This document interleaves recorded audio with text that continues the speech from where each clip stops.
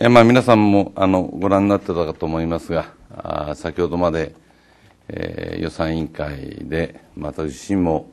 えー、質疑に、えー、立って、えー、おりました。え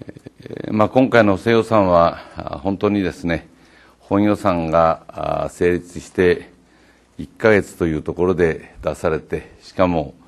14, 14兆円を超える大型の補正予算ということで、まあ、極めて、えーまあ、重要な補正予算の審議だと考えております。えー、もう私の言いたいことはあの場で、えー、かなりはっきり申し上げましたけれども、まあ一言で言えば、あ財政出動があある規模必要だということにおいては、我が党も2年間で21兆円、という規模の景気雇用対策を提案しておりますけれども、問題は中身だと。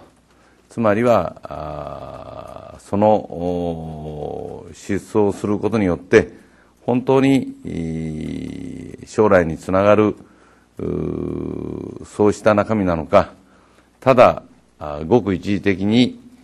お金がばらまかれて、そのお金がばらまかれた効果しかないような、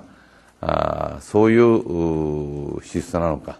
まさにこの一点で、しっかり議論をしなければいけないというのが、まあ、第一の課題であります。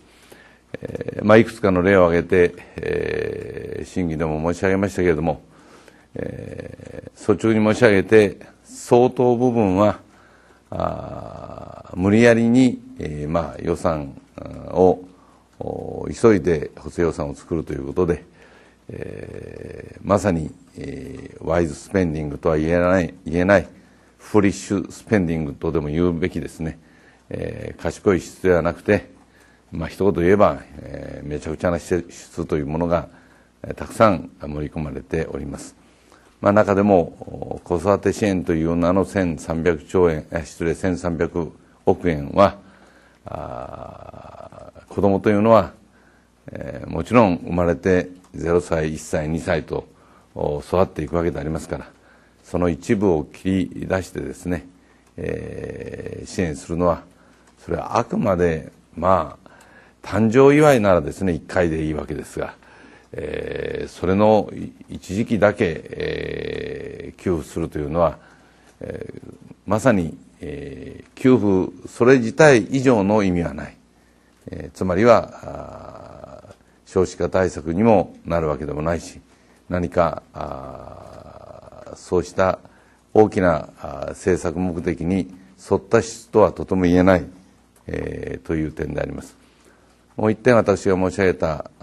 46という数の基金が作られております。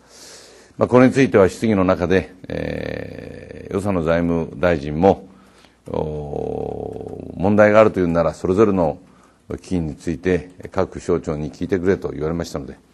えー、しっかり聞くだけの予算審議をやるべきだということをその場でも委員長にも申し上げました。えーまあ、その理解含めてですね来週の日程の議論の中では46の基金について、まあ、それぞれ、まあ、1時間とは言いませんけれども少なくともかなり問題がありますので、えー、それぞれについて、まあ、例えば30分間は最低ですね、えー、質疑をすると。場合によっては分科会のような形ででもですね質疑をするべきではないかと。このように考えております。